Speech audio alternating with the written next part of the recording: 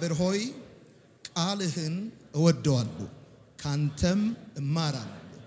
በዛ ሰላም የማይወሰድ ደስታ ለዘላለም አለ። አሜን። ቁጭ በሉ። ተጽዕኖ ፈጣሪ ህይወት በሚል ርዕስ እንድትጽፉ ይሁንና ከዛ የእግዚአብሔርን ቃል እናነባለን። በመሰረታዊ ደረጃ መነሻ የምናደርገው በተለይ የምንቆይበት የመጽሐፍ ቅዱሳችን ክፍል የሁለተኛ ቆሮንቶስ መልእክት ነው። እንደምታውቁት የሁለተኛ ቆሮንቶስ መልእክት የተጻፈው በሐዋርያው ጳውሎስ ነው እና ወደ ቃሉ እንሄዳለን እንማራለን ማለት ነው። ተጽዕኖ ፈጣሪ ህይወት ዓለም በዚህ ሰዓት ስለ ተጽዕኖ ፈጣሪነት ብዙ ትናገራለች፣ ብዙ ታወራለች፣ ብዙ ታስተምራለች። ሰዎችም ምን ባደርግ ነው ተጽዕኖ ፈጣሪ ልሆን የምችለው ብለው ይጨነቃሉ። የተለያየ ነገር ለማድረግ ጥረት ያደርጋሉ። በየዓመቱ የፎርብስ መጽሔት፣ የታይም መጽሔት የዓመቱን ተጽዕኖ ፈጣሪዎች ከፖለቲካ፣ ከስፖርት፣ ከተለያየ field የዓመቱን ተጽዕኖ ፈጣሪ ሰዎች እያለ ያወጣል። ለምሳሌ በባለፉት ዓመታቶች እነ ታይም መጽሔት እነ ፎርብስ መጽሔቶች የፑቲንን የጀርመኗን መሪ እና ሌሎችንም ተጽዕኖ ፈጣሪዎች ብለው ያወጣሉ። በዚህ ጉባኤ ያላችሁ ወንድሞቼና እህቶቼ ተጽዕኖ ፈጣሪ ህይወት በሚል ሀሳብ ከመንፈሳዊ perspective አንጻር እንማራለን። እስካሁን ድረስ በዓለም ላይ 109 ቢሊዮን ህዝብ እንደኖረ ይታመናል። ከዚህ ውስጥ ደግሞ 101 ቢሊዮኑ የተቀበረ ነው። ታሪክ የመዘገበው የኖሩትን ሁሉ ሰዎች ሳይሆኑ በዘመናቸው ተጽዕኖ የፈጠሩትን ሰዎች ብቻ ነው። እኔና እናንተ እንኳን የምናውቃቸው በጣት የተቆጠሩ ሰዎች ከተቀበሩት 101 ቢሊዮን ሰዎች ውስጥ በጣም ጥቂቶቹ ነው የምናውቃቸው እና እስካሁን ድረስ በምድር ላይ ያለፈውን ሰው ስታዩት እሱ ይበልጣል። አሁን በምድር ላይ ካለው 8 ቢሊዮን ህዝብ አለ። ከዛ ውስጥ አብዛኛው 101 ቢሊዮን የሚሆነው የተቀበረ ነው። ብዙ ጊዜ ስለ ተጽዕኖ ፈጣሪነት ሲታሰብ የሚታሰበው ነገር ምንድን ነው? ስለ ተጠቃሚነት ነው።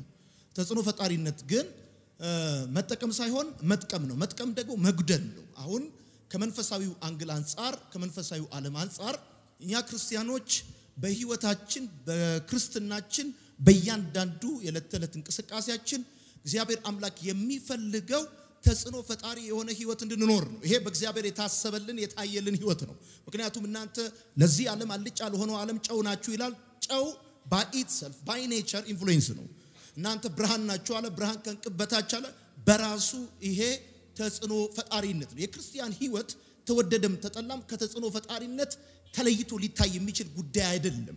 ደግሞ መታሰብ ያለበት ምንድን ነው? ተጽዕኖ ፈጣሪነት በእይታ የሚቀረጽ ጉዳይ ነው። በሰው ህይወት ድል አድራጊነትም ሆነ ተሸናፊነት፣ የምስራችም ሆነ መርዶ ምንጩ የሰው እይታ ነው። እንደምታውቁት ለመጀመሪያ ጊዜ ውድቀት በሰው ህይወት ውስጥ የተከሰተው ሞት ያለበት ነገር ህይወትን ይሰጣል ከሚል መታወር ከተጫነው እይታ እና እይታ በጣም መሰረታዊ ጉዳይ ነው። በእነዚህ ቀናቶች የምነግራችሁ አንድ ዓመትም ሁለት ዓመትም ሶስት ዓመትም በምድር ላይ ኑሩ። እግዚአብሔር ባየላችሁ ልክ እግዚአብሔር በእናንተ ህይወት ውስጥ ባሰበው ልክ በምድር ላይ ተጽዕኖ ፈጣሪ ሆናችሁ የምትኖሩበትን የህይወት ቁልፎች እንድትረዱ እፈልጋለሁ። እሱ ብቻ አይደለም። ብዙ ሰዎች ሲጠይቁ ምን ባደርግ ነው ብዬ እንዳልኳችሁ መግቢያ ላይ ምን ባደርግ ነው፣ ምን ብሰራ ነው፣ እንዴት ብኖር ነው ተጽዕኖ ፈጣሪ ልሆን የምችለው የሚል በጣም ብዙ ሰዎች ሀሳብ አላቸው። ወደዛኛው ሀሳብ ከመግባቴ በፊት ግን እንደው በተወሰነ መልኩ ተጽዕኖ ፈጣሪነት ምንድን ነው ከተባለ አንተ ወዳለህበት level of thinking ሰዎችን ማምጣት ማለት ነው። ጻፉ። ተጽዕኖ ፈጣሪነት ማለት አንተ ወዳለህበት level of thinking ያስተሳሰብ ልክ ሰዎችን ማምጣት ማለት ነው። አሁን ከመጽሐፍ ቅዱስ ውስጥ አንስተን አምጥተን የምናያቸው ሰዎች አሉ። እነሱ ወዳሉበት ያስተሳሰብ ልክ ያስተሳሰብ ደረጃ ሰዎችን ያመጡ የእውነት ደረጃ እና ሰዎች ልክ እንዳንተ መኖር ሲጀምሩ፣ ሰዎች አንተን መከተል ሲጀምሩ፣ እንዳንተ መውጣት መግባት ሲጀምሩ፣ እንዳንተ ማሰብ ሲጀምሩ ማለት ነው። ስለዚህ ይሄ የክርስቲያኖች ህይወት ነው፣ የተመደበብን ህይወት ነው። እኛ ተራ ህይወት እንድኖር አይደለም እግዚአብሔር ያሰበልን። እኛ እግዚአብሔር አምላክ በህይወታችን ያቀደልን ህይወት እንደው ዝም ብሎ በላ፣ ጠጣ፣ ወጣ፣ ገባ፣ ተኛ፣ ተነሳ፣ ሞተ፣ ተቀበረ የሚባል ህይወት በጌታ በኢየሱስ ክርስቶስም ከላያችሁ ላይ አለቅልቄ ደፋሁት። የተጽዕኖ ፈጣሪነት ህይወት ምርጫችሁ አይደለም ማለት ፈለጋችሁት ምናምን ሳይሆን ግዴታችሁ ነው። እግዚአብሔር ያሰበላችሁ እግዚአብሔር ያየላችሁ ህይወት influential እንድትሆኑ influential በኑሯችሁ፣ በስራችሁ፣ በመውጣት በመግባታችሁ፣ በእንቅስቃሴያችሁ ሁሉ እናንተ ተጽዕኖ ፈጣሪዎች እንድትሆኑ መሪ እንድትሆኑ ነው። ራስ እንድትሆኑ ነው። ጅራት እንድትሆኑ አይደለም፣ ገዢ እንድትሆኑ ነው።? እናንተ decision maker እንድትሆኑ ነው። ይሄ የክርስቲያኖች ህይወት ነው። ክርስቲያኖች በሄዱበት ቦታ ሁሉ ለጨለማው ብርሃን መሆናቸው nature ኣቸው ነው፣ ግዴታቸው ነው። አንድ ክርስቲያን ጨው አርገኝ ብሎ አይጸልይም። ጨው ናችሁ ነው የተባልከው እንጂ ብርሃን ናችሁ ነው እንጂ የተባልከው ብርሃን አርገኝ ብለህ አትጸልይም። እውነቴ ነው የምነግራችሁ። ከዚህ ቀን በኋላ በሚቀጥሉ ሳምንታት የእግዚአብሔር ቃል በህይወታችሁ ላይ እንደ ጠል ሲወርድ እንደዚህ ይሆናል። wherever you go influential ትሆናላችሁ። most successful preacher ወይኔ ወይኔ ሳላስበው እንግሊዘኛ ከውስጤ እየፈለቀ ነው ትቼዋለሁ። አሁን ዋናው ጉዳይ ግን እንደዚህ ነው። እናንተ ተጽዕኖ ፈጣሪነት የተመደበላችሁ ህይወት ነው። praise God ጌታ የተባረከ ይሁን። okay ተጽዕኖ ፈጣሪ መሆን ማለት አንተ ወዳለህበት level of thinking ሰዎችን ማምጣት ማለት ከሆነ አስቀድመን ለትምህርታችን መግቢያ እንዲሆነን ተጽዕኖ ፈጣሪነት ምን አይደለም ወይም የምን ውጤት አይደለም የሚለውን ላሳያችሁ እፈልጋለሁ። የመጀመሪያው የመጀመሪያው የምትጽፉ ሰዎች ተጽዕኖ ፈጣሪነት የእድሜ ርዝመት አይደለም። መጽሐፍ ቅዱሳችንን ስታነቡ ሁለት ጊዜ አንድ ሺህ ዓመት የኖረ መቶ ልጆች የወለደ በጨለማ መጥቶ በጨለማ የሄደ ስሙን ጨለማ የሸፈነው ከሱ ጭንጋፍ ይሻላል የተባለለት ሰው መጽሐፍ ቅዱሳችሁ ውስጥ ታገኛላችሁ። የእግዚአብሔር ቃል ሲናገር እንደዚህ ይላል። አንድ ሰው ይላል አንድ ሺህ ዓመት ሁለት ጊዜ ቢኖር ይላል መቶ ልጅ ቢወልድ ይላል ሀብት ቢኖረው ይላል በጨለማ መጥቶ በጨለማ ይሄዳል፣ ስሙንም ይላል ጨለማ ሸፍኖታል ይላል። ከዚህ ሰው ጭንጋፍ ይሻላል because ስሙን ጨለማ ሸፍኖታል። አያችሁ፣ አንድ ሰው አንድ ሺህ ዓመት ሁለት ጊዜ ቢኖር ምንም ትርጉም የለውም። ሀያ ሰላሳ አርባ ዓመት አይደለም፣ ሰማንያ ዓመት አይደለም። አንድ ሺህ ዓመት ሁለት ጊዜ ብትኖር ስምህን ጨለማ ከሸፈነው ትርጉም አልባ ነው። ከአንተ ጭንጋፍ ሰው ይሻላል አለ የእግዚአብሔር ቃል ሲናገር። ዛሬ ጸለይኩላችሁ። ስማችሁን የሸፈነ ጨለማ በኢየሱስም ይገፈፋል። በረምጩና አሜን በሉ። ይህንን ቃል የምታገኙት መክብብ ስድስት ላይ ነው። ስማችሁን የሸፈነ ስራችሁን የሸፈነ አቅማችሁን የሸፈነ ምድርን የሸፈናትን ውሃ ወደ አንድ ወገን ይሰብሰብ እንዳለ ጌታ ምድርም ተገለጠች እንደሚል ውስጡ ያለው ፖቴንሻል ወጣ እንደሚል ውስጣችሁ ያለው አቅም እንዳይወጣ የሸፈናችሁ ነገር በኢየሱስም ይገፈፋል። በረምጩና አሜን በሉ። ጌታ ኢየሱስ ክርስቶስ 33 ዓመት ተኩል በምድር ላይ ኖሮ ይገርማቸዋል። ብዙ ፈላስፎች ሁለት ዘመን የተሻገረ ተጽዕኖ አልፈጠሩም። ገና ለዘላለም የሚሰማ ገና ለዘላለም የሚደመጥ ለብዙዎች እረፍትና ፈውስ የሆነ ሪል የሆነ ህይወትን አካፍሎናል። በደንብ አሜን በሉ። አሁን ማተር የሚያደርገው የምትኖረው ነገር ርዝመት አይደለም፣ የምትኖረው እድሜ ርዝመት አይደለም። አንድ ሰው አንድ ሺህ ዓመት ሁለት ጊዜ ቢኖር መቶ ልጆች ቢወልድ ሀብት ቢኖረው በጨለማ መጥቶ በጨለማ ይሄዳል። ከዛስ ስሙንም ጨለማ ሸፍኖታል። ከዚህ ሰዋል ጭንጋፍ ሰው ይሻላል። ስለዚህ ተጽዕኖ ሀብት አይደለም፣ ተጽዕኖ የእድሜ ርዝመት አይደለም። በጣም ብዙ ሰዎች ከዘራ እስኪይዙ እስኪደክማቸው እስኪንቀጠቀጡ የኖሩ ሰዎች በምድር ላይ አሉ። ሀብት ያፈሩ ሰዎች አሉ በምድር ላይ። ልጆች የወለዱ ሰዎች አሉ በምድር ላይ። ሁለት ሶስት አራት ልጅ አይደለም መቶ ልጅ ቢወልድ አለ ያ ሰውዬ አለ ጭንጋፍ ከሱ ይሻላል። እኔ ደግሞ ይገርማቸዋል። ጥሎብኝ ፈዛዛ ነገር አልወድም፣ የቀዘቀዘ ነገር አልወድም። ማታ ካቻታ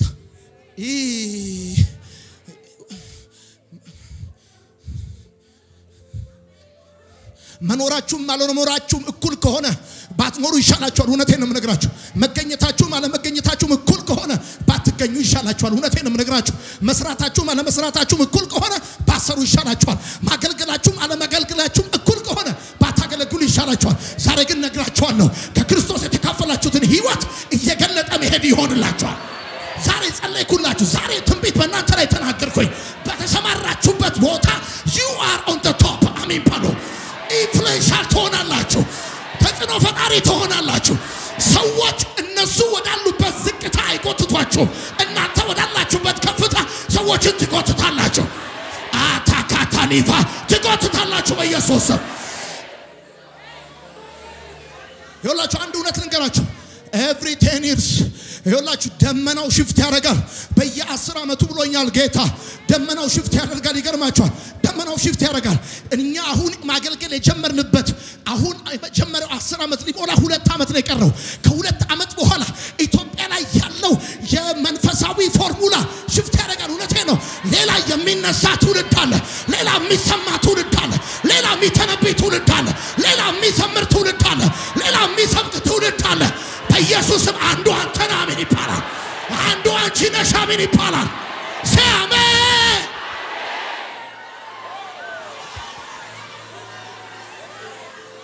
የትኛውም አይነት ቦንዴጅ ሊይዛችሁ አይችልም። የትኛውም አይነት ግራቪቲ ሊጎትታችሁ አይችልም።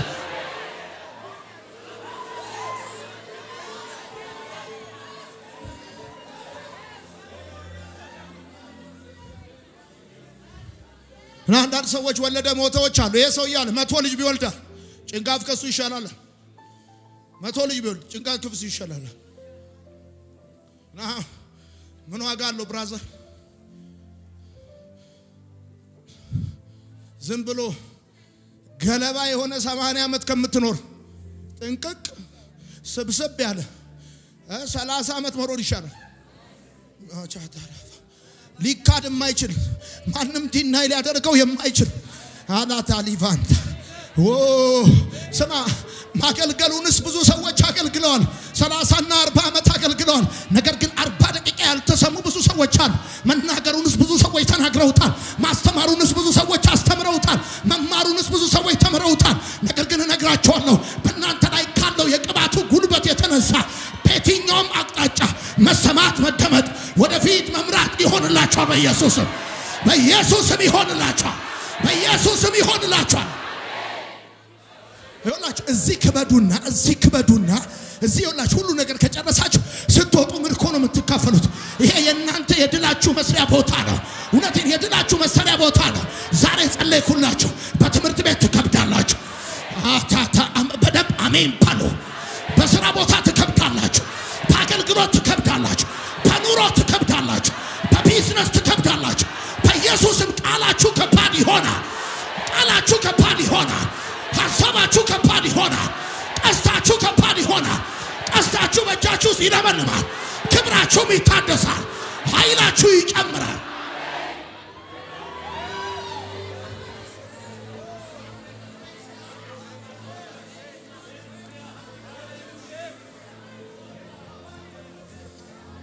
አሁን መማር የምንጀምረውን ትምህርት ስንጀምር ተጽዕኖ ፈጣሪነት ምን አይደለም ነው የእድሜ ርዝመት አይደል? የእድሜ ርዝመት አይደል? አንድ አንድ ሺህ ዓመት ሁለት ጊዜ ቢኖር መቶ ልጆች ቢወልድ በጨለማ መጥቷል። በጨለማ ይሄዳል። እኔ በጨለማ መጥቼ በጨለማ አልሄድም። ስሙንም አለ ጨለማ ሸፍኖታል። ይህ ከዚህ ሰው አለ ጭንጋፍ ሰው ሳይወለድ የጨነገፈ ጽንስ ይሻላል።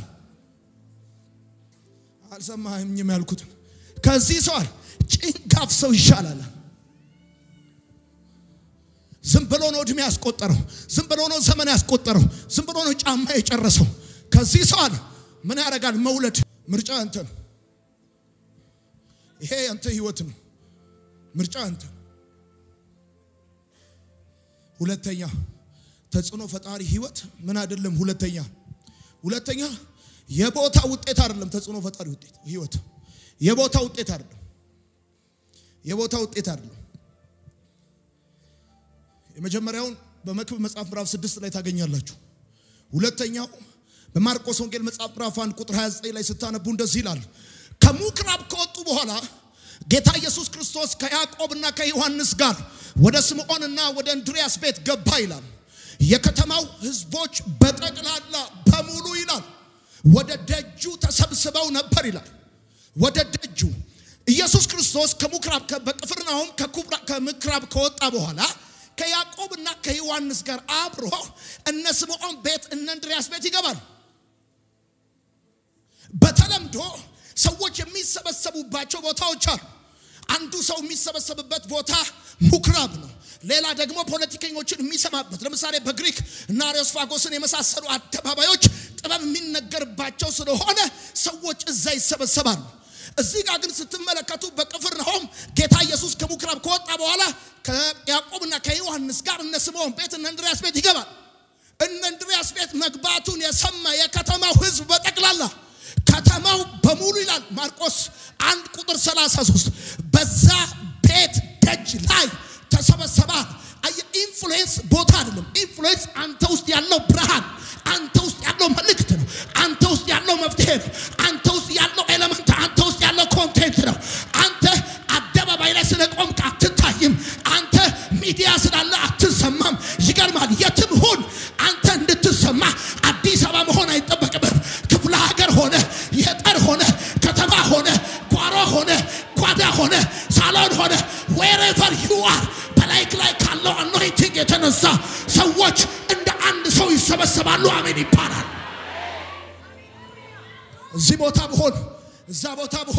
እዚህ ብሰራ እዛ ብሰራ አትበል። influence የቦታ ውጤት አይደለም። አሁን ያንተ ስራ ያንተ ስራ fruitful ያልሆነው ውጤታማ ያልሆነው አስፋልት ላይ ስላልተከራየ አይደለም። ፊት ለፊት ላይ ስላልሆንክ አይደለም። influence የቦታ ውጤት አይደለም። ጌታ ኢየሱስ ክርስቶስ እነ ስምዖን ቤት እነ ጴጥሮስ ቤት ገባ ይልና እሱ ገባ። እሱ ሲገባ ይገርማቸዋል። የነ ስምዖን ቤት ደጅ፣ የነ እንድርያስ ቤት ደጅ፣ ከተማው በጠቅላላ ተሰብስቦ መጥቶ ቤቱ ደጅ እዛ ደጁ ላይ ተሰበሰበ። ኢየሱስ ላይ ያለው መልእክት ኢየሱስ ውስጥ ያለው ብርሃን ከተማውን በጠቅላላ ደጁ ጋር የሚያመጣ ነው። ዛሬ እነግራቸዋለሁ። የምትፈልጉትን ሰው የምትፈልጉትን ጉዳይ በጌታ በኢየሱስም ለማግኘት መንከራተት አቁማችሁ እናንተ ያላችሁበት ድረስ የሚያመጣ የመንፈስ ክብደት ያገኛቸዋል። እያልኳችሁ ያለሁት እንደዚህ ነው። መልእክት ይዛችሁ ሰሚ ለማግኘት አትንከራተቱም። ሀሳብ ይዛችሁ አቅም ይዛችሁ ሰሚ አድማጭ ለማግኘት አትንከራተቱም። በኢየሱስም ዛሬ ልጸልይላችሁ አድማጮቻችሁን እናንተ ጋር የሚያመጣ የመንፈስ ክብደት በኢየሱስም ያገኛቸዋል። wherever you are እሰማለሁ የሚል ሰው አሜን ይባል። እደመጣለሁ የሚል ሰው አሜን ይባል። እፈለጋለሁ የሚል ሰው አሜን ይባል።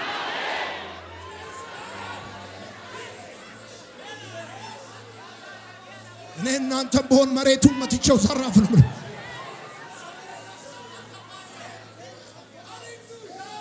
ሐዋሳ ሆነን እንደዚህ እንላለን። ታስታውሳላችሁ?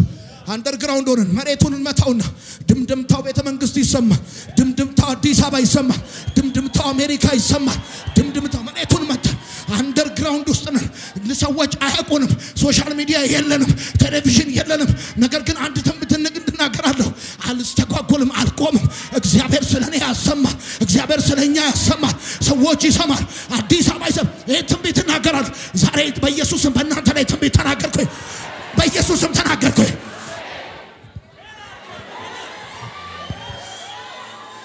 ይላችሁ የከበደ መንፈስ አለ። የከበደ መንፈስ አሁን በየዘመናቱ የእግዚአብሔር ቃል ይላችሁ የእግዚአብሔር ብርሃን የሚለቀቀውን የእግዚአብሔር ብርሃን በደንብ በጉጉት ነው መስማት ያለብህ። ከዚህ ቃል በኋላ ህይወትህ ላይ የሚሆነው ይሄ ነው። ይሄ ነው የሚሆነው። ዛሬ ጸለይኩላችሁ። የእናንተን ቤት ደጅ በጌታ በኢየሱስ ስም የክብደት ደጅ ይሆናል። አደባባይ አድርጎ እግዚአብሔር ይቀይረዋል። መሰሚያ አድርጎ እግዚአብሔር ይቀይረዋል። የቢዝነስ ኪ አድርጎ እግዚአብሔር ይቀይረዋል።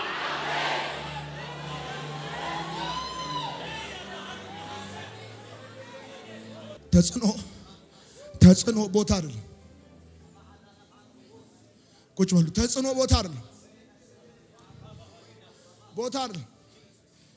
ወዳጆቼ በጣም ብዙ ሰዎች በምድር ላይ ተምረዋል፣ አስተምረዋል። የመሰማት ጉዳይ ግን የኢንፍሉዌንስ ጉዳይ ነው፣ የተጽዕኖ ጉዳይ ነው። እነሱ ያወሩትን ያንኑ ጉዳይ በተሰባበረ አማርኛ አውርተው አገር የሚያዳምጣቸው የማይሰለቹ አንዳንድ ሰው አይተዋል። የሚገርም ነገር እያወራ እንቅልፍ ይመጣል፣ እንቅልፍ ይመጣል፣ ይጫጫናል፣ ታዛጋለህ ምናምን ትላል። ሁለተኛው እሱ ነው። ሶስተኛው ሶስተኛው ተጽዕኖን ስናነሳ ተጽዕኖ የመጠሪያ ውጤት አይደለም። የመጠሪያ ውጤት አይደለም ተጽዕኖ። ይገርማቸዋል። እስጢፋኖስ የሚሉት ወጣት ልጅ እስጢፋኖስ የሚባለው ወጣት ልጅ በሐዋርያት አደረጃጀት ውስጥ ዲያቆን የነበረ ሰው ዲያቆን የነበረ ሰው ነው።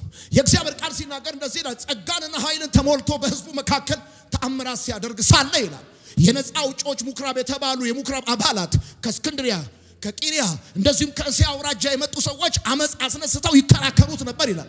ዳሩ ግን ምን ያደርጋል? የሚናገርበትን መንፈስና ጥበብ ይቋቋሙ ዘንድ አልቻለም። አለ አየህ፣ ሰውየው ይሄ እስጢፋኖስ የሚባለው ሰው በሐዋርያት አደረጃጀት ውስጥ ሐዋርያ የሚል ስያሜ አልተሰጠውም። ዲያቆን ነው። ነገር ግን በጸጋና ኃይልን ተሞልቷል። influence የተሞላው ነገር ነው። መንፈስ ቅዱስና ኃይልን ተሞልቶ ሲናገር ሳለ ሊቋቋሙት አልቻሉም አለ። ከየትም ሊመጡ ይችላሉ። ዛሬ በጌታ በኢየሱስ ስም ከየትም ሊሰበሰቡ ይችላሉ። በላይህ ላይ ያለውን መንፈስ አይቋቋሙትም። አሜን ይባላል። መጠሪያ አይደለም brother፣ የተሞላኸው ጉዳይ ነው። influence የተሞላኸው ህይወት ነው። influence እንደውም ይገርምሃል። የእግዚአብሔር ቃል ሲናገር እንደዚህ ይላል፣ አልቻሉም፣ ሊቋቋሙት አልቻሉም ይላል። የእግዚአብሔር ቃል ሲናገር እንደዚህ ይላል፣ እግዚአብሔርና ሙሴን ሲሰድብ ሰምተነዋል የሚሉ ሰዎችን አስነሷል። ከዛስ ህዝቡን፣ የሀገር ሽማግሌዎችን፣ ከዛስ የህጉን አስተማሪዎች አስነሱበታል። ድሮም ሰዎች ስታቅታቸው ተንኮል ማሰብና ተንኮል ማድረግ ልማዳቸው። አንተን መቋቋም ሲያቅታቸው ተንኮል ማሰብ፣ ተንኮል መስራት ልማዳቸው። ስታቅታቸው መሰማት ሲያቅታቸው አንተ በምትሰማበት ልክ መሰማት ሲያቅታቸው የምትናገርበትን ጥበብና መንፈስ መቋቋም ሲያቅታቸው ስም አጥፊ ሰው ማስነሳት ልማዳቸው ነው። ደግሞ እነግርሃለሁ የመሰማት level maximum ሲሆን ይገርምሃል፣ ጆሮ ሁሉ ሊያስብህ ይችላል። influence በመሰማት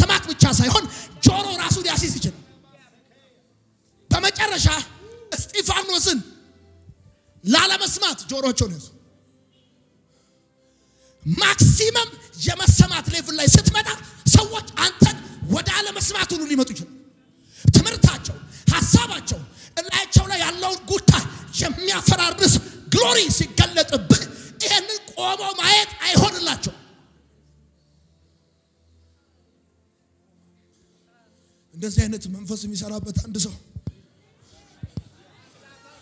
የሚናገርበትን ሊቋቋሙ አለ አልቻሉም። ልጁ ይገርማቸዋል። high profile አይደለም። ይገርማቸዋል። deacon ነው፣ ማንቆርቆሪያ ያዥ ነው፣ ወጥ ጨላፊ ነው። ይገርማል። እነማ ጴጥሮስ፣ ያዕቆብ፣ ዮሐንስ ምናምን እነሱ ሲጠሩ እዛ ግባ የሚባል ሰው አይደለም። ይገርማቸዋል። ነገር ግን እላዩ ላይ ከነበረው ጸጋና መንፈስ የተነሳ ይገርማል። ከእስክንድሪያ፣ ከቂሪያ፣ ከእስያ አውራጃ የመጡ ከምኩራብ የተሰበሰቡ ተምረናል፣ እናውቃለን፣ experience ኡ አለን የሚሉ የሙሴን ሕግ በደንብ ያጠኑ ሰዎች ሊቋቋሙት አልቻሉም አልቻሉም።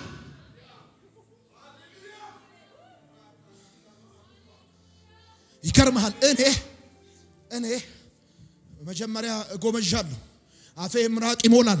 ቃሉ በህይወትህ እንዲሰራ ከፈለግ መጎምጀት አለብህ። ይኸውልህ የያዕቆብ ፍየሎች ያረገዙት የጠጡት ሁሉ አይደሉም። እየጠጡ እያለ የጎመዡት ብቻ ናቸው። የጠጡት ሁሉ አላረገዙም። ይገርማል።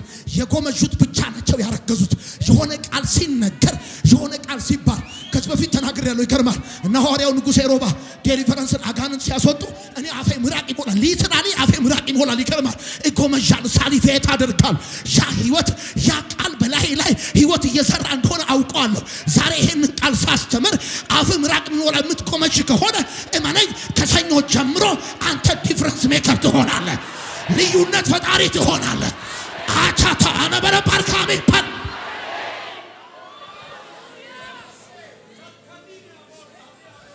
ምን አገባ አንተ? ፓስተር ቢሉ ዳስተር ቢሉ ሐዋርያ ቢሉ ሐዋርያ ባይሉ ነቢይ ቢሉ ነቢይ ባይሉ ጉዳዩ ከመጠሪያ ጋር አይደለም። ጉዳዩ ከመጠሪያ ጋር አይደለም። ከተሞላኸው ጸጋና ኃይል ከተሞላኸው ነገር ጋር እንደውም ሌሊት ላይ ትላንትና ስምንት ሰዓት ሌሊት ላይ ይህን ቃል እያነበብኩኝ ይገርማል። በደንብ በደንብ እንደ ተጨቁኖ እንደሚጠቀጠቅ መስፈሪያ እግዚአብሔር አለኝ። በደንብ እየሞላኋቸው እየሞላኋቸው እያስታጠቅኳቸው ያሉ አሉ።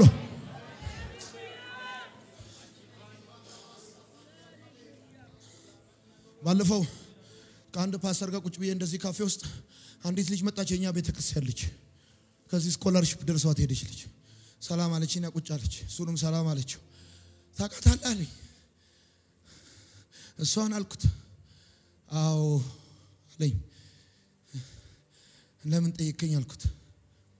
ይገርምሃል ሮሜን እያጠናን ነበር የመጀመሪያዎቹን አስራ ምናምን ቁጥሮች ያስጠናችው እሷ ነች። ከተማው ጠቅላላ ስለ እሷ ነው የሚያወራው አለኝ። ከዛ እንደዚህ አለችው። የአስራ አምስት ዓመት ልጅ ሆኜ ነው ዮናታን ጋር የሄድኩት ሮሜን ተምሬያለሁ አለችው። ከዛ ደስ አለኝ በጣም ሞቀኝ ሞቀኝ። ያስተማርኩት ሰው መነጋገሪያ ሲሆን እንዴት ነው አይሞቀኝ? ምን መሰለ እያልኩ ያለሁት እዚህ ሳስተምር ትጽፋለች፣ ሳስተምር ትጽፋለች። ለካ ጌታ እየሞላት ያለው የምታፈስበት ቦታ እያዘጋጀ ነው። ይገርማል። የት እንደምታወጣው እግዚአብሔር ነው እያዘጋጀ ያለው። ዛሬ የምነግርህ እንደዚህ ነው። ይገርማል። ጸጋና ኃይልን ተሞልቶ እንደሚል ዛሬ እግዚአብሔር በቃሉና በመንፈሱ ይሞልሃል።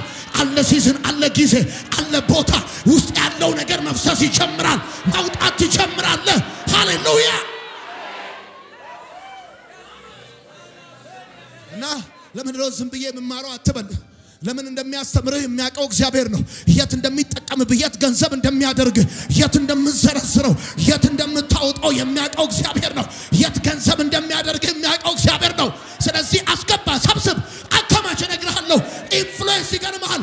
መጠሪያ ስም አይደለም። ካንተ በላይ በጣም ስም ያላቸው ሰዎች እዚህ ምድር ሊኖሩ ይችላሉ። የእነሱ መኖር ግን ያንተን መሰማት አይከለክልም።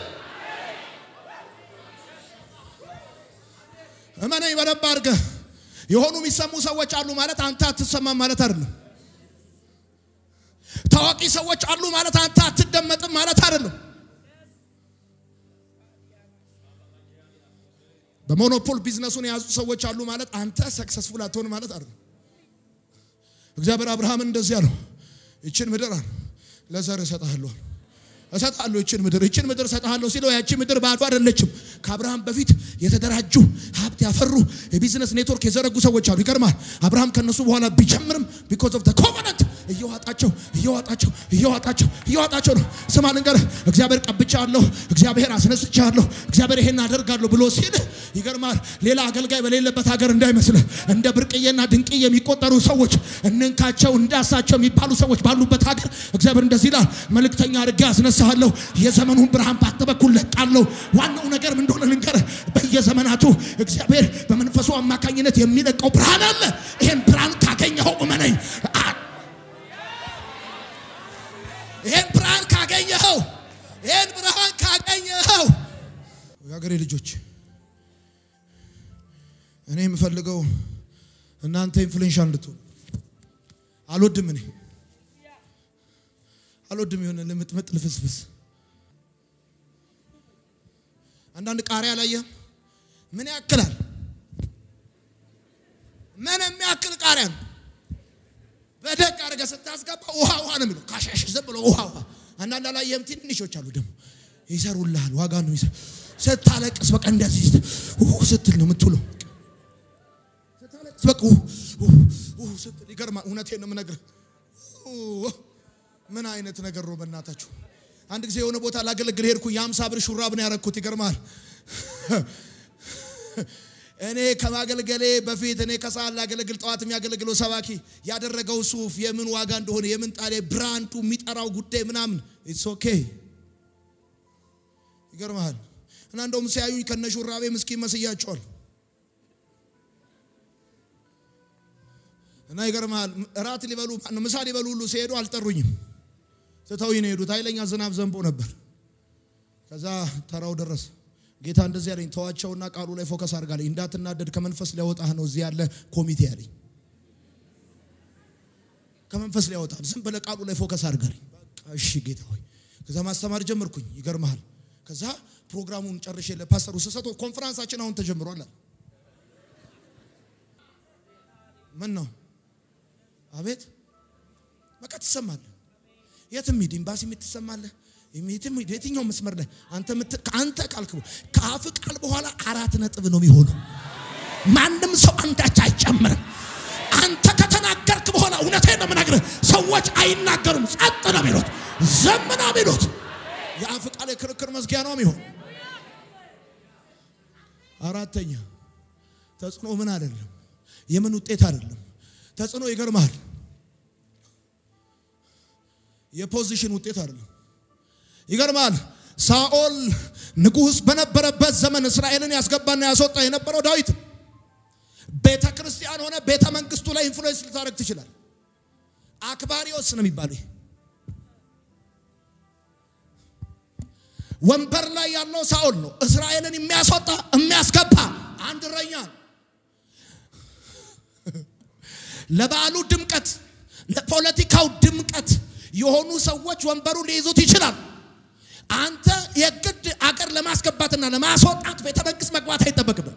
ቤተ መቅደስ ሆነ በላይህ ላይ ካለው ክብር የተነሳ ተጽዕኖ ፈጣሪ ልትሆን የግድ የሆነ ቦታ ተጽዕኖ ለመፍጠር እዛ ቦታ መሄድ አይጠበቅብህም አይጠበቅብህም። ይገርማል። የመጨረሻው ተጽዕኖ ፈጣሪነት የአለባበስ ውጤት አይደለም። መዘነጥ አሪፍ ነው። ይገርማል። ተጽዕኖ አለባበስ አይደለም። መጥምቁ ዮሐንስ አለባበሱ ዘናጭ አይደለም።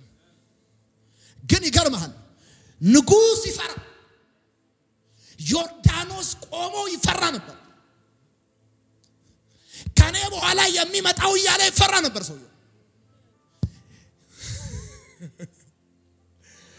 ቆዳ ታጥቆ ይፈራ ነበር። አንዳንድ ሰዎች አሁን ተጽዕኖ ለመፍጠር በጣም ይለብሳሉ፣ በጣም ይለብሳሉ። ግን ተጽዕኖ አለባበስ አይደለም። ይገርማል። እስቲ አሜን ይባላል። እኔ እናንተን ቦ ምንድን ያልኳችሁ ባለፈው ይሄስ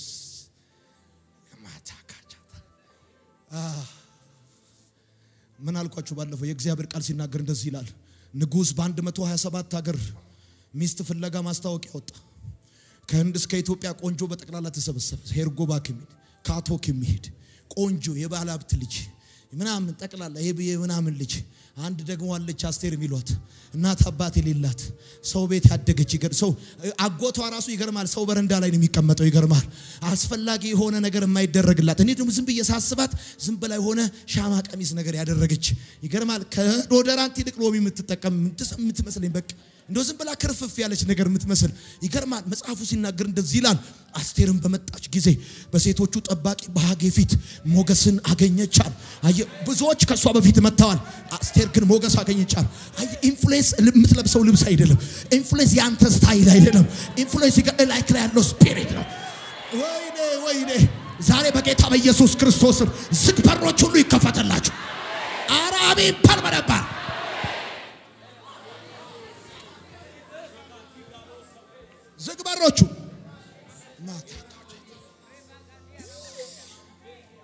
እስቲ አሜን በሉ።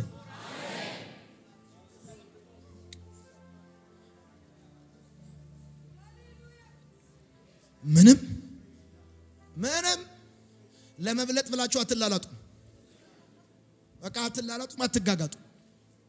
በቃ ምንም አለባበስ አይደለም ብራዘር። አሁን በጣም ብዙ ወጣት ብዙ ሰው ምንድን ነው የሚያደርገው? ተጽዕኖ ለመፍጠር በአለባበስ ይሞክራል። ተጽዕኖ በአለባበስ በቃ በዚህ በኩል ወጥ ሱሪ፣ በዚህ በኩል የተቀዳደደ አድርጎ በአንድ እግር ቁንጣ፣ በአንድ እግር ሱሪውና ሁለት የተለያየ አይነት ነገር አድርጎ በቃ ተጽዕኖ ፈጣሪ እላይክ ላይ ራሱ ትኩረት የሚስብ መንፈስ አለ። አይታይም፣ ይገርማል። ደግሞ አያረጅም፣ ይገርማል። እየጨመርክ ስትሄድ እድሜ ሞገሱ እየጨመረ ይሄዳል። ውበቱ እየጨመረ ይሄዳል። ታካችሁ በደም ጩሁና አሜን ባሉ። በደም ጩሁና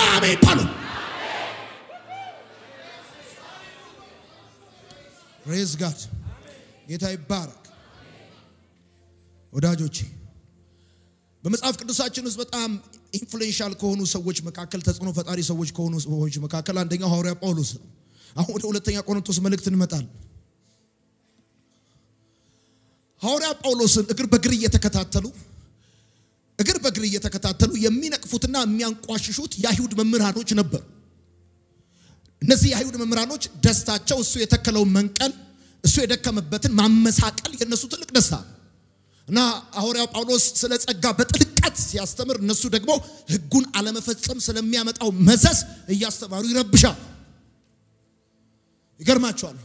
በክርስትና ታሪክ በጣም ተጽዕኖ ፈጣሪ ከሆኑ የጻፋቸው መልእክቶች ዛሬም የሚነበቡ አብዛኞቹን የአዲስ ኪዳን መጽሐፍ የጻፈ ሰው አለ። እሱ ጳውሎስ ይባላል። ታውቃላችሁ።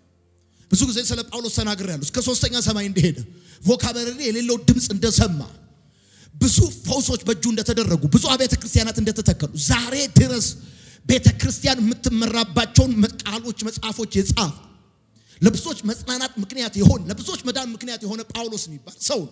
ይሄንን ሰው እግር በእግር የሚከታተሉና የሚነቅፉትና የሚያንቋሽሹት ሰዎች ነበሩ። ተጽዕኖ ፈጣሪነት በተቃውሞ የታጀበ ህይወት ነው። ሰው ተጽዕኖ ፈጣሪ ለመሆን ካሰበ at same time ልክ ብረት በማግኔት እንደሚሳብ ልክ እንደዚሁ ተቃዋሚዎችን ወደ አንተ የሚስብ ጉዳይ ነው influence የሚባለው ጉዳይ።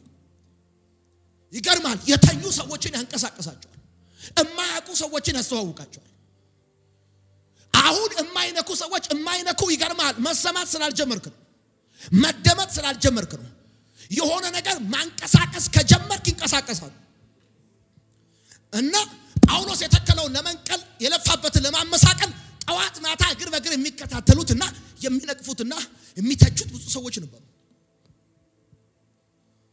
ይገርማቸዋል። ጳውሎስ ላይ ከሚቀርቡ ተቃውሞዎችና ጳውሎስ ላይ ከሚነሱ ትችቶች መካከል አራት መሰረታዊ ነገር ላሳያችሁ።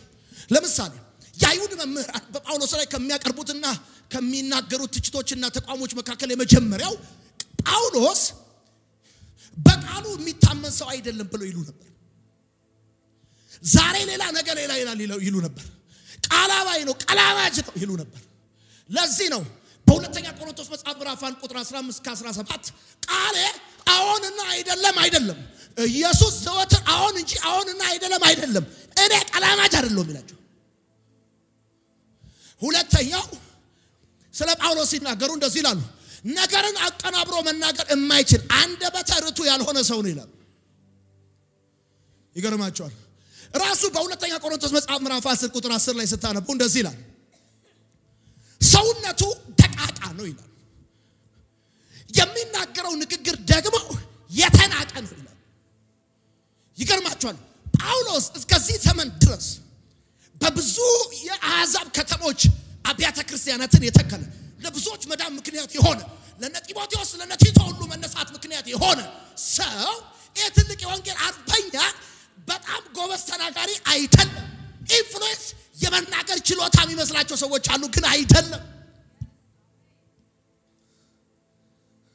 ራሱ ጳውሎስ በሁለተኛ ቆሮንቶስ መጽሐፍ ምዕራፍ 11 ቁጥር 6 ሲናገር ምንም እንኳን ይላል የንግግር ችሎታ ባይኖረኝም ራሱ ያምናል።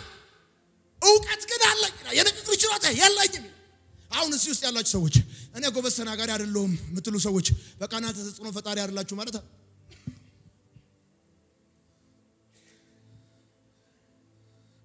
መናገር አትችሉም ማለት ኢንፍሉዌንስ አላትሆኑም ማለት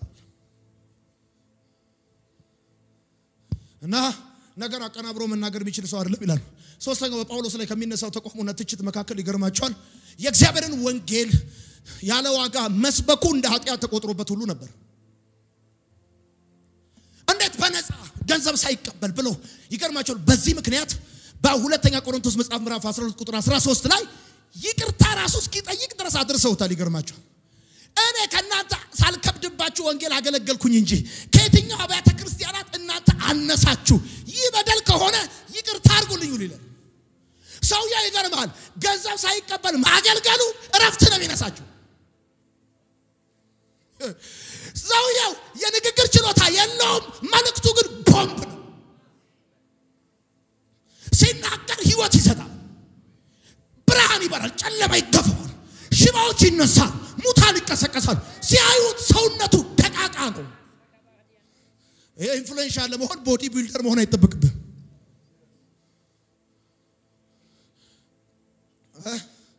ሙሉ አካል ሊኖር አይችልም። ሙሉ አካል ሊኖር ግዴታ አይደለም። በዊልቸርም እየሄድክ ተጽዕኖ ፈጣሪ ልትሆን ትችላል። ይገርማል። እውነቴን እኮ ነው የምነግርህ። ይገርማል።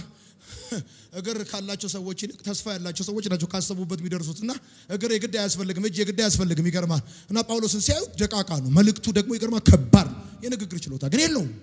አንዱ ከሚናገሩት ከሚተቹት ጉዳይ አንዱ ይሄ ነው። እኔ ዛሬ ጸለይኩል። እኔ ዛሬ ይሄን መንፈስ በጌታ በኢየሱስም በአንተ ላይ ተናገሩ። ምን በለኝ እንኳን አይደለም በቁም ነገር በቀልድ እንኳን ስትናገር በጌታ በኢየሱስ ስም ሰዎች በግዴታ ያዳምጠዋል። አለመሰማት አትችልም። በኢየሱስ ባክበረም ጩሁና አሜን በል። አለመሰማት አትችልም። አንተ አንተ እኮ እንደ ቀልድ ተናግረ ያለፍከውን ጉዳይ ሰዎቹ ከቁም ነገር ቆጥረውት ስልክ ደውለው ባለፈው እንደዚህ ያልከኝ ሻይ ስንጠጣ፣ አረ ህይወቴን ቀይሮታል፣ ዘመኔን ቀይሮታል፣ እስራቴን ፈቶታል።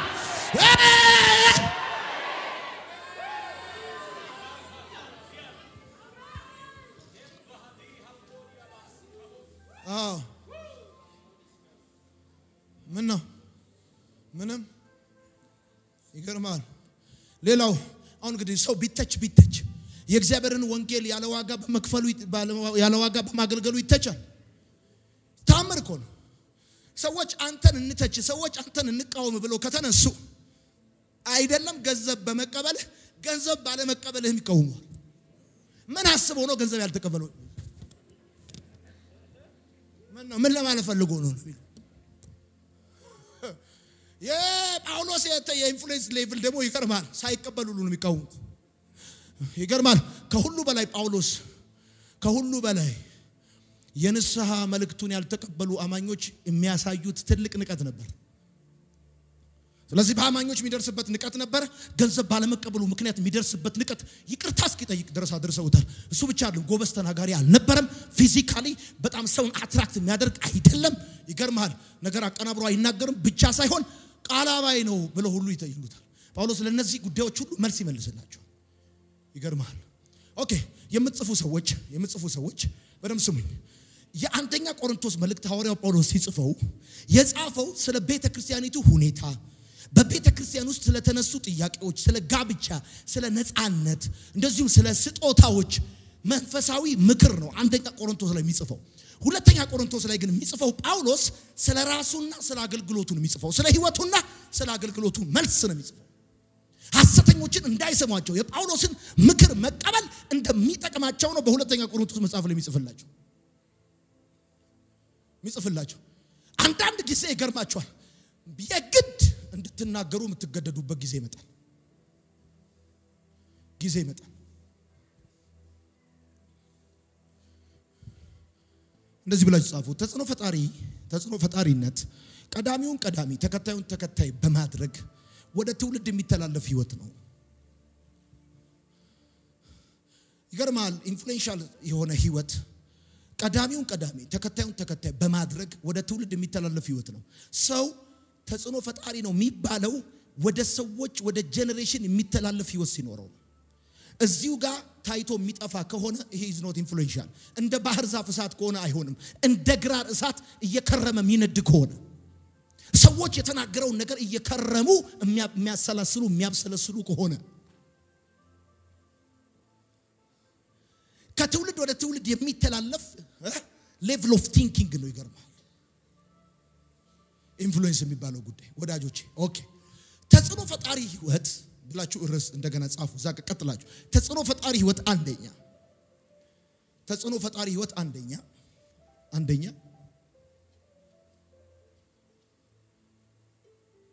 አንደኛ ክርስቶስ ተኮር ነው።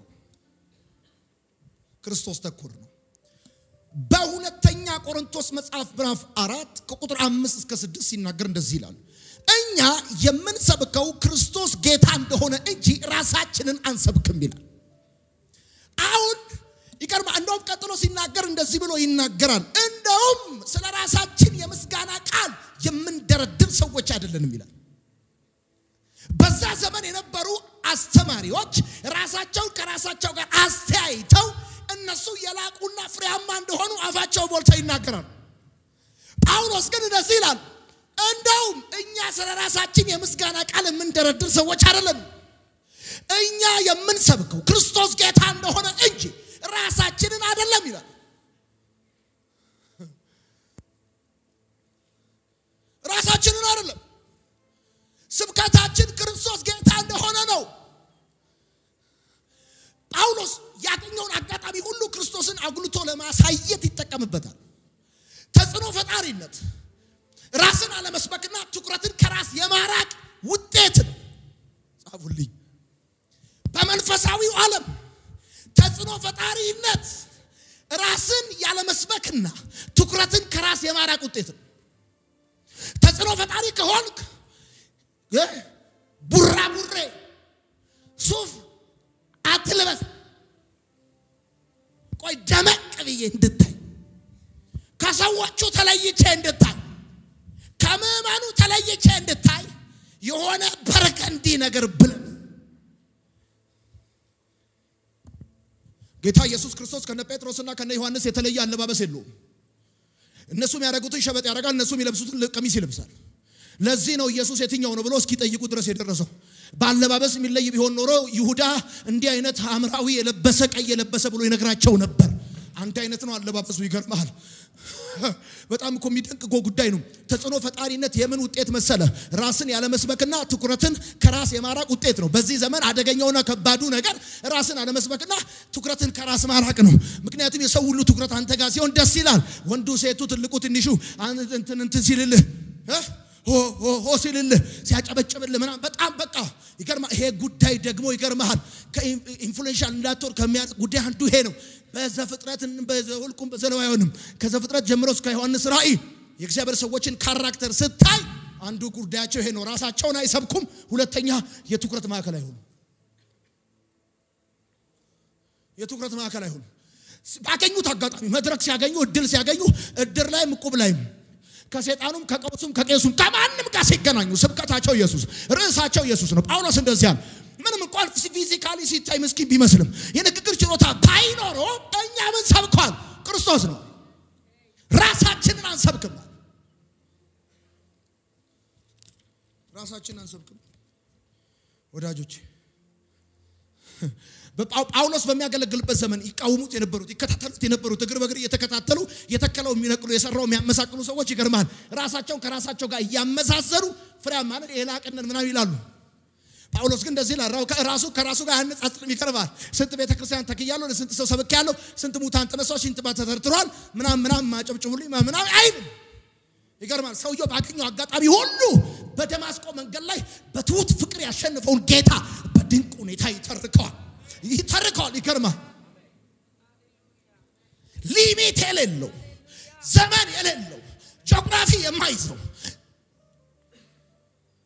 የተጽዕኖ ህይወት ራስን ያለመስበክና ክርስቶስን ማዕከል የማድረግ ህይወት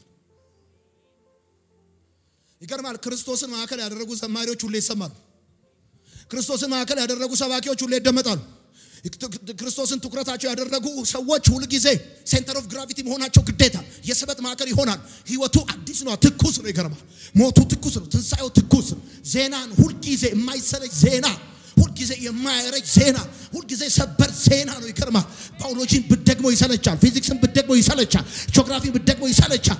ይገርማል። ብዙ ነገሮች ይሰለቻል። የማይሰለች ሁልጊዜ የሰዎችን ህይወት የሚያድስ ሞታቸውን በህይወት የሚሽር ሁልጊዜ አዲስ ኢየሱስ ይባላል። እስቲ በደንብ አድርጋችሁ አሜን በሉ። yes ይገርምሃል። እንደውም አንድ እውነት ልንገር ራስን አለመስበክ ክርስቶስን ከመስበክ ካልጀመረ ራሱ ራስን መስበክ ነው። ጻፉልኝ። ራስን አለመስበክ ክርስቶስን ከመስበክ ካልጀመረ በራሱ ራስን መስበክ ነው። ጳውሎስ ስለ ክርስቶስ ራሳችንን አንሰብክም ለማለት የጀመረው ራሱ ክርስቶስን እንጂ እኛ ራሳችንን አንሰብክም በማለት እንጂ ራሳችንን አንሰብክም ክርስቶስን እንሰብካለን አይደለም ያለው። ምን ማለት መሰል ራስን አለመስበክ ክርስቶስን ከመስበክ ካልጀመረ በራሱ ራስን መስበክ። በደምብ ስማኝ። አንዳንድ ሰዎች ከነሱ ውጪ ሌላ ሰው እንዳሰሙ ጆሮአችሁን የሚያደነቁሩት በዚህ ስብከት ነው። እነሱ ገንዘብ እንደማይወዱ፣ እነሱ ክብር እንደማይፈልጉ፣ እነሱ እነሱ እነሱ እነሱ self righteousness በጣም ያወራሉ። የራሱን righteousness ከማውራቱ በፊት የ Christ ን righteousness የማይሰብክ ሰው በእጅ አዙርና በተዘዋዋሪ ራሱን ነው የሚሰብከው። በሰዎች ላይ የሚስለው ራሱን የገባው ሰው ቢኖር ደስ ይለኝ። የገባው ሰው ቢኖር ምን ማለት ነው? በአጭር አማርኛ ራስን አለመስበክ መጀመር ያለበት በራሱ ክርስቶስን ከመስበክ እንጂ ክርስቶስን በመስበክ ካልጀመረ another form of ራስን መስበክ ነው። እኛ እኔ እኔ እያልኩ ለምሳሌ እኔ የተለየ ነገር አረግኩባቸው፣ እኔ የተለየ ነገር ጠይቄያቸዋለሁ፣ እኔ እንደዚህ ብያቸዋለሁ፣ እኔ እኔ እኔ እያልኩ ካወራኋችሁ በሌላ አማርኛ እኔን ራሴን እናንተ ላይ እየሳልኩባችሁ እናቃታለን። እቺ አንዱ ክርስቶስን እንደሳልኩባችሁና እንዳልሳልኩባችሁ አንዱ እኔ የማረጋግጥበት ጉዳይ ምንድን ነው? ከኔ ውጭ ያሉ ሰዎችን የመስማት አፒታይት አላችሁ የላችሁ የሚለው ነው። ከኔ ውጭ ያሉ አገልጋዮችን የመስማት አፒታይት ከሌላችሁ እመኑኝ፣ በሆነ እጅ አዙር ጆሮአችሁን በስቻችኋል። አንዱ የስህተት ትምህርት አይነት ከሆኑ ሰዎች ውጭ እንዳትሰማ ተደርገ መደንቆር ነው። እግዚአብሔር ዮናታን ብቻ አይደለም አገልጋይ ያለው፣ በጣም ብዙ ወንዶችና ሴት አገልጋዮች አሉት። ሌላ ሰው ወደ አለመስማት ካደግ የስህተት ትምህርት ነው። የስህተት ትምህርት ነው። ብራዘር፣ እኔ ለሆነ ጊዜ ነው ጌታ ያመጣኝ፣ ለወም ለትንሽ ሰው እግዚአብሔር ብዙ ወንዶችና ሴት ልጆች አሉት፣ በጽድቅ የሚኖሩ የሚወዱት፣ በእውነት የሚወዱት፣ በድካም እንኳን ቢኖሩ የእውነት የሚወዱት አሉት። ምን ለማውራት ፈልጌ መሰለህ? ይሄ ኢየሱስን መስበክ በሚባለው ጉዳይ ካልቀደመ ራስን መስበክ በራሱ አስቀድሞ ከመጣ ራሱ በራሱ ራስን መስበክ okay አንድ ነገር በደንብ ስሙኝ። አሁን ዮናታን ምን ያወራልን ነው? የተጽዕኖ ፈጣሪ ህይወት ብዬ ስላችሁ የተጽዕኖ ፈጣሪ ህይወት brother ኢየሱስ ተኮር ህይወት ነው። ተጽዕኖ ፈጣሪ ህይወት ኢየሱስ ተኮር። እኛ የምንሰብከው ክርስቶስን እንጂ ክርስቶስ ጌታ እንደሆነ እንጂ ራሳችንን አይደለም brother ራሳችንን የተሻገርነውን ወንዝ የበላነውን ቆሎ የጨበጥነው በሶ የከፈልነው ዋጋ ልጅነቴ ለወንጌል ሰጥቼ ማን ነው ሽምግልናውን የሰጠው? ማን እርጅናውን የሰጠው? ይገርማል።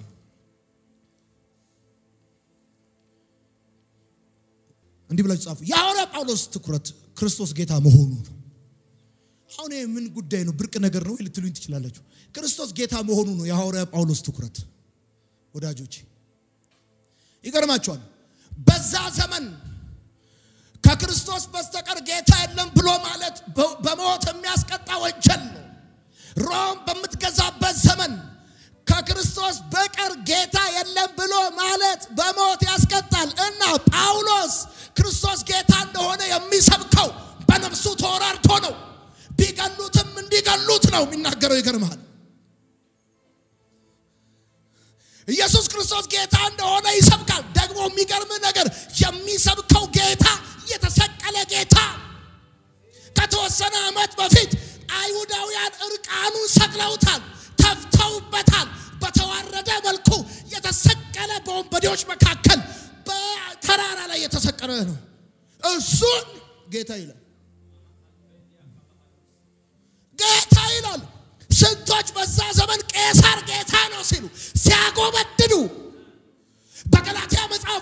ወንጌሉ በእውነት የማይሰብኩት ወንጌሉ የሚጠይቀውን ዋጋ ላለመቀበል ነው ብሎ ጳውሎስ እንደጻፈ ዛሬ ብዙ ሰዎች ኢየሱስ እሱ ክርስቶስ ጌታ እንደሆነ የማይሰብኩትና የሚያመቻምቹት ብዙ ቁጥር ካላቸው ጋር አማች ለመሆን ነው። መድረክ ለማግኘት ነው። በየሚዲያው ለመጠራት ነው።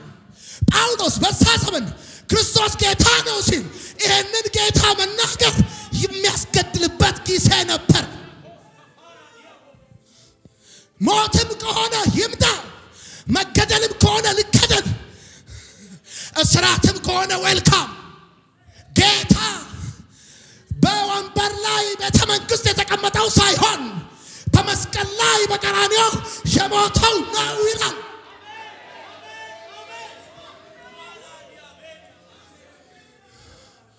ክርስቶስ ጌታ እንደሆነ እንሰብካለን ሲል ጳውሎስ ጌታ ማለት ያህዌ ማለት ነው። የግሪኩ ቃል የዕብራይስጡ ትርጉም ክርስቶስ ከድንግል ማርያም የተወለደው ያህዌ ነው ይላቸዋል አይሁዳውያን።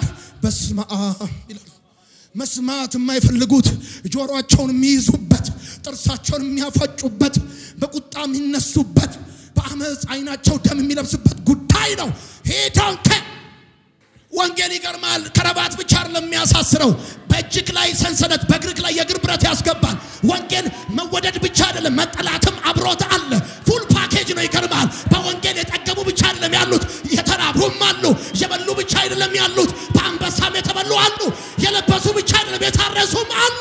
ክርስቶስ ጌታ እንደሆነ ዛሬም እሰብካለሁ የሚል ሰው አሜን ይበለኝ። በደምጩና አሜን በል።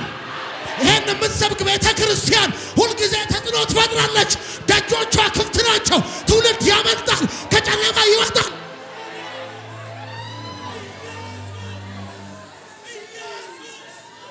you have to say like this you welcome። የሚመጣ መከራ ካለ you welcome። የሚመጣ ስደት ካለ፣ የሚመጣ መጠላት ካለ፣ የሚመጣ መገረፍ ካለ፣ ውርደት ካለ ይሄንን ጌታ ይገርማል። ሰበከው። እስር ቤት ሲገባ ይሰብካል። እዛ አናሲሞስ ይነግረዋል። እዛ ሲወጣ አደባባይ ላይ ይሰብካል። አግሪጳ ፊት ይሰብካል። ወንዶች ሴቶች ፊት፣ አሕዛብ ጋር ይሰብካል። አይሁዶች ጋር ይሰብካል። አንድ ጊዜ እንደውም ይገርማ ጴጥሮስ ሁሉ አመቻምቾ ነበረ። ይገርማ ፊት ለፊት ተቃወምኩት አለ። ሰው ኢየሱስን ዜና አድርጎ ሊደበዘዝ አይችልም። ሰው ኢየሱስን ጌታ አድርጎ ሊጠፋ አይችልም። ሰው ኢየሱስን የሕይወቱ መሪ አድርጎ በፍጹም ሊደበቅ አይችልም። ዛሬ ነግራችኋለሁ፣ ይሄ ጌታ እንደ ጠዋት ፀሐይ በቤታችሁ ይወጣል፣ በቤታችሁ ላይ ይወጣል። እንደውም ዛሬ እንደዚህ ነግራችኋለሁ በኢየሱስ ስም። ያኔ ተማሪ እያላችሁ ሳንቲም ከወረቀቱ በታች አድርጋችሁ በስርዓት ስትነኩት እየደመቀ እንደሚሄድ ከዚህ ቀን ጀምሮ የኢየሱስ ፍቅር በልባችሁ እየደመቀ ይሄዳል፣ እየተሳለ ይሄዳል። ከበፊት ይልቅ ውስጣችሁን ይበላችኋል።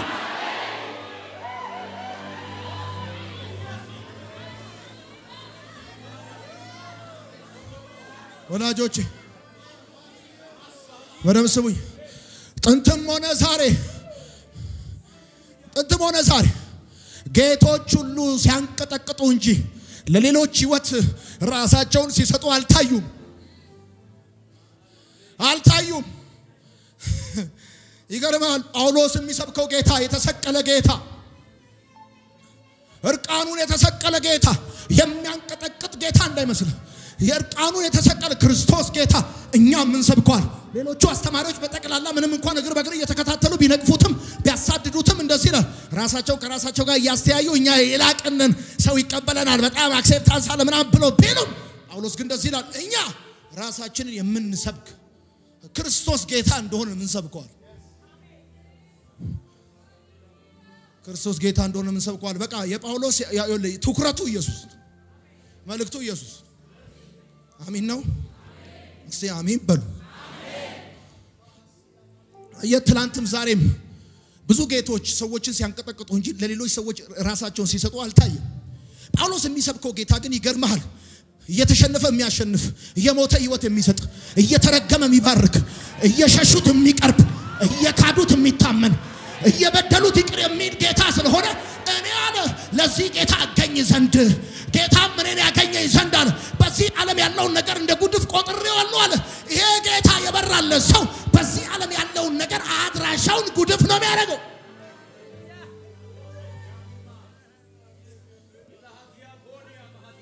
ይገርማል።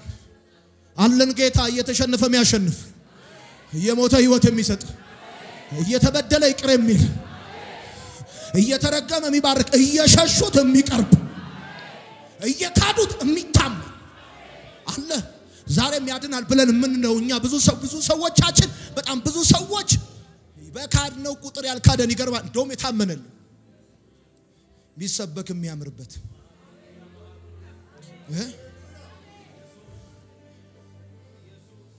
ይገርማል። ይሄንን ጌታ የተረዳ ሰው ሰው ክርስቶስን ከዘመረ ክርስቶስን ከሰበከ ክርስቶስን ካወራ የስበት ማዕከል መሆኑ የተጽዕኖ ፈጣሪ መሆኑ አይቀርም። በጣም ብዙ ሰዎች ተሳዳቢ ሆኖ ተጽዕኖ ለመፍጠር ይፈልጋሉ። ሻሎም ሻሎም ገባ ገባ በሉ ብለው ሰው ቤት ይገባሉ። ሻሎም ሻሎም ብለው ከፍ ዝቅ አድርገው ትንሽ ትልቅ አዋርደው የርካሽ ክብር በሰዎች ውርደት ይገዛል። ርካሽ ሀብት በሰዎች ኪሳራ ይሰበሰባል። ይህ ተጽዕኖ ፈጣሪ መሆን ከፈለግ ብዙ አትዳከር። ዱቄት አትቃም፣ ቲክቶክ ላይ አትቃም፣ ዱቄት አትቃም። ተጽዕኖ ፈጣሪ ለመሆን ከፈለግ ሽንብርትስን እያሳየሽ አትውረግረጊ። ክርስቶስ ጌታ እንደሆነ መስበክ ከጀመርሽ ይገርምሻል። ዛፍ ቅጠሉ፣ ተራና ፍጥረት በጠቅላላ ጆሮ ለአንቺ መስጠት ይጀምራል። ክርስቶስ ጌታ ይሄ የተሸነፈ የሚያሸንፍ ይገርምሃል። ማታ ካቻታ ይኸው አንድም ቀን እሱን ለመጠበቅ ሰይፍ አንስተን አናቅም። ለምን ይመስልሃል? ቢያሳድዱትም ግን ይበዛል። ይገርማል። ቢገሉትም በሕይወት ይኖራል። ይገርማል።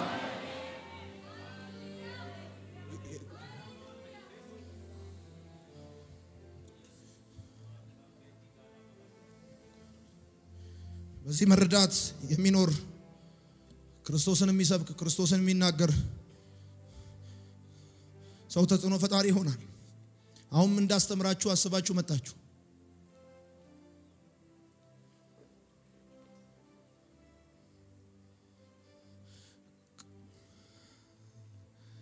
ጳውሎስን አለማንሳት አትችልም። ይገርማል።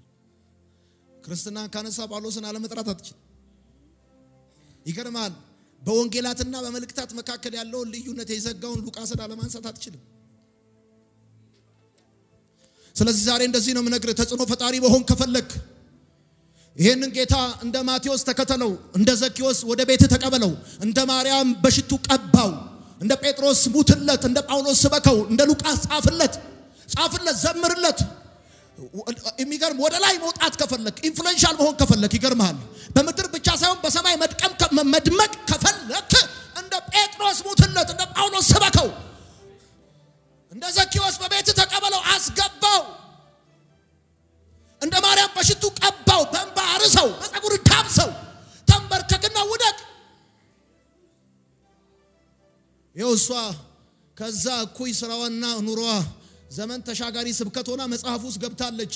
ሽቶዋን እግሩ ስር ሰብራ በፀጉሯ ዳብሳ በእንባዋ አርሳ እግሩ ስር ተንበርክካ ይገርማል። ታሪክ ውስጥ አሁን በዘመናት መካከል ታዋቂ ነች። ይገርማል። ስብከት ነች። አንዳንድ ሰዎች አሉ በህይወት መንገድ ላይ ሰብከው ብቻ ሳይሆን ስብከት ሆነው ያለፉ። አንዳንድ ሰዎች አሉ በህይወት ዘመን ውስጥ ሰብከው ብቻ ሳይሆን ስብከት ሆነው ያለፉ። ታሪካቸው ሲወራ፣ ህይወታቸው ሲወራ፣ የመጡበት መንገድ ሲወራ፣ ምክንያቱም ሞት መጣ ብለው ቢሉት ግባ በለው ብለው ኢየሱስን የሰበኩ ይገርማል። ውበት ቢሆን ይረግፋል፣ ጉልበት ቢሆን ይደክማል።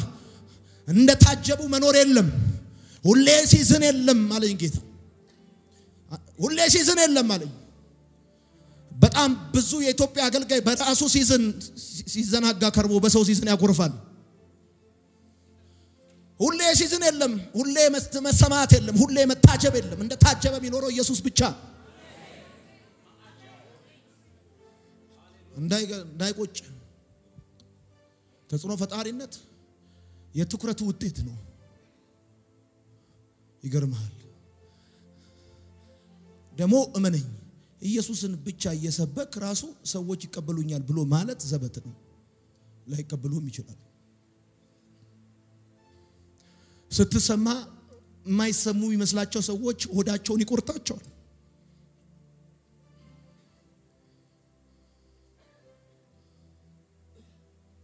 ይገርምሃል። ኢየሱስን የትኩረቱ ማዕከል ያደረገ ቢዝነስ ፈጽሞ ሊወድቅ አይችልም። በኮቪድ ጊዜ የጠፉ company ዎች እንዳሉ ሁሉ በኮቪድ ጊዜ የበዙ ነፍ ናቸው፣ ብዙ ናቸው። ይገርምሃል። በአስራታቸው serious ናቸው። kingdom centered ናቸው። compromise አያደረጉ። ተጽዕኖ ፈጣሪ ህይወት ክርስቶስ ተኮር ነው። በጣም ብዙ ወጣት ኳስ ተኮር ነው። ኳስ የሚተነትነውን ያህል ሉቃስን አይተነትንም።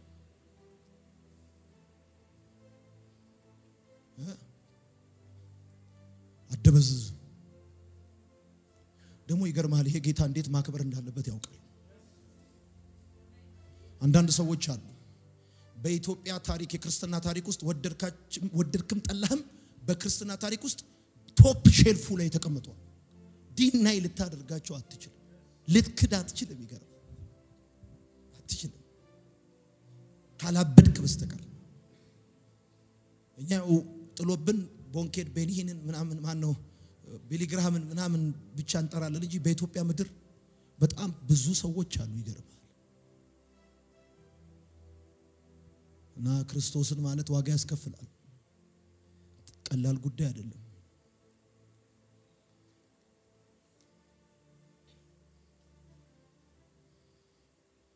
አሁን ራሱ ይገርማል። በልብ ላይ ሲደምቅ ይሰማኛል።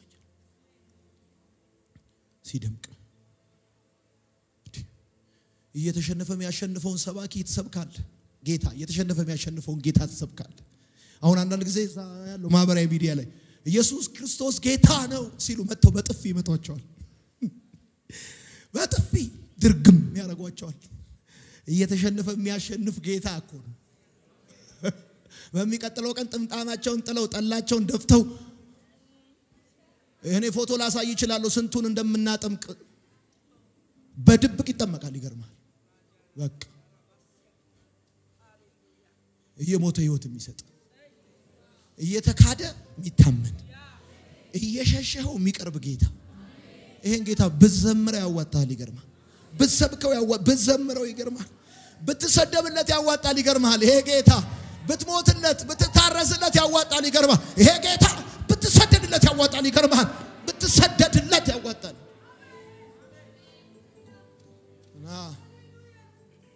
እኛ የምንሰብከው ክርስቶስ ጌታ እንደሆነ እንጂ ራሳችንን አንሰብክም። ዛሬ በጣም ብዙ ሰዎች በዘራቸው ስብከት ተይዘዋል። በጣም ብዙ ሰዎች በዘር ስብከት ተይዘዋል። በፖለቲካ በጥላቻ ስብከት ተይዘዋል። በጥላቻ ስብከት ተይዘዋል። ስብከቱ ብዙ ነው። ዛሬ ሚዲያ ውስጥ ስትገባ በጣም ብዙ ሰዎች የተለያየ ነገር ይሰብካሉ። አንዳንድ ሰዎች እንዴት ሀብታም እንደምትሆን ይሰብኳል። እንደውም ይገርማል። እዛው ሚዲያ ውስጥ ስትገባ ተጽዕኖ ፈጣሪ ለመሆን አምስት ቁልፎች፣ ሀያ ቁልፎች፣ መቶ ቁልፎች፣ አርባ ቁልፎች ይለዋል። ተጽዕኖ ፈጣሪ እንድትሆን እነግርሃለሁ። የዘላለም ቁልፍ እነግርሃለሁ። እሱም ክርስቶስ ይባላል ይባላል። ይገርማል። ቅድም ምን ብለህ ነበር የዘመርከው መጀመሪያ ላይ? መቼ ትሆን ያቺ ቀን እንገናኝባት ከተወጋልኝ ጋር ፊት ለፊት እንተያይባት ከቀን ወደ ቀን ናፍቆቴም በርትቶብኛል። ሁልጊዜ ሳብሰለስል ረፍቱን ነስቶኛል። ናፍቃለው ላይሻለው ሞተ ያዳንከኝን ላይ ናፍቃለው ናፍቃለው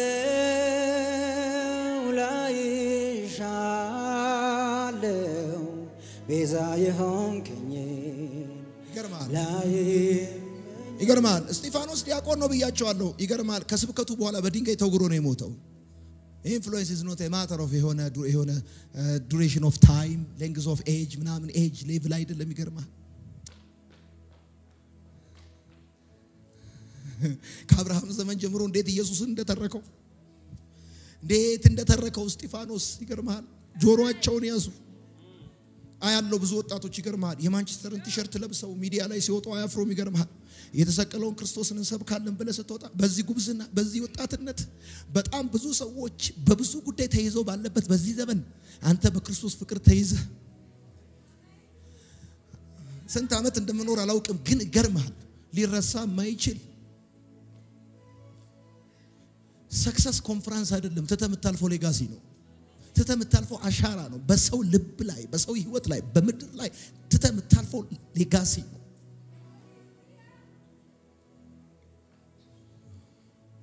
ከዛ እንደዚህ ብለህ ትዘምራለህ ማለት ነው። ምንም ነገር እኔን አያረካኝም። ምነው በኖረኝ ብዬ አያዝመኘኝ የኔ ናፍቆት የኔ ጉጉት የሆነው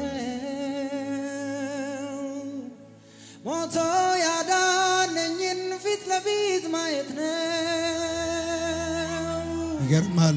ሰው ብዙ ነገር እጅግ ኢየሱስ ከተባለ አልችልም አልችልም። በቃ ኢየሱስ ከተባለ አልችልም። ስመጣ መስማት ደስ የሚያሰኘኝ ኢየሱስ ነው። በመገኘቱ ሲገኝ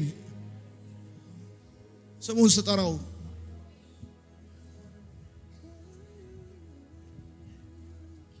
ሁሉን አስትቶ ያስኖረኝ፣ ያስቀመጠኝ፣ ያኖረኝ ትኩረቴ ትኩረቴ ትኩረቴ የምሰማቸው ቴሌቪዥኖች፣ የምፎሎ የማረጋቸው ፔጆች፣ የማዳምጣቸው የምገኝባቸው አድራሻዎች ኢየሱስ ዜና የሆነባቸው ቦታዎች። ሰው ሲወራ ይደብራል። ስለ ሰው ድካም ሲወራ ይሰለቻል፣ ይገርማል። እንደውም አሁን በጣም ከማያቸው ማላያቸው ይበዛል። የእኔ ትኩረት ልቤ ጮቤ የሚረግጠው ሐሴት የማረገው ተዘልዬ የምቀመጠው ኢየሱስ ይዘመርልኝ፣ ኢየሱስ ይሰበክልኝ። ናፍቃለው ላይሻለው ሞት ያዳንከኝን እንደ ዮሐንስ ወደ ደረቱ ተጠጋ፣ እንደ ማቴዎስ ተከተለው፣ እንደ ዘኪዮስ ወደ ቤት አስገባው። ተቀበለው ወደ ቤት ናፍቃለው ላይሻለው ሃሌሉያ